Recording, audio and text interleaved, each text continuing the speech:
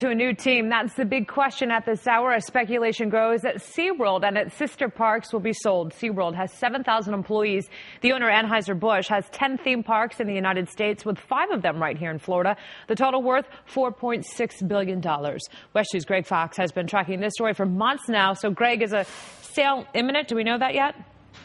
We've got no indication that a sale is imminent. We do know this that executives met with some employees uh, for what's called a quarterly meeting. It was a routine meeting, we are told by a spokeswoman here in Orlando this morning, and that no one was told anything about a sale or an announcement of a sale.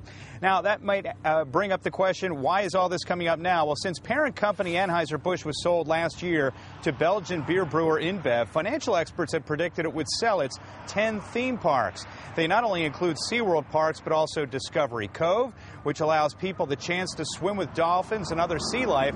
And one of the newest attractions under the Busch brand, the giant water park called Aquatica, which is right across the street from SeaWorld. Also, earlier this month, the company that owns 50% of Universal Studios theme parks, Blackstone, announced it would take its Merlin Entertainment public.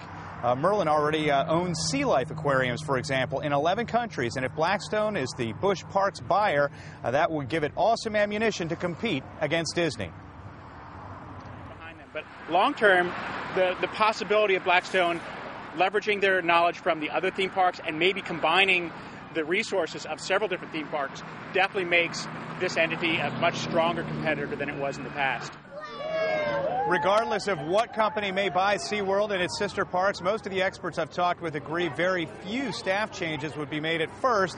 And down the road, only upper and middle management might be trimmed, but typically not most of the 7,000 Anheuser-Busch theme park workers in Central Florida. Anheuser-Busch is so far declining comment. A spokeswoman said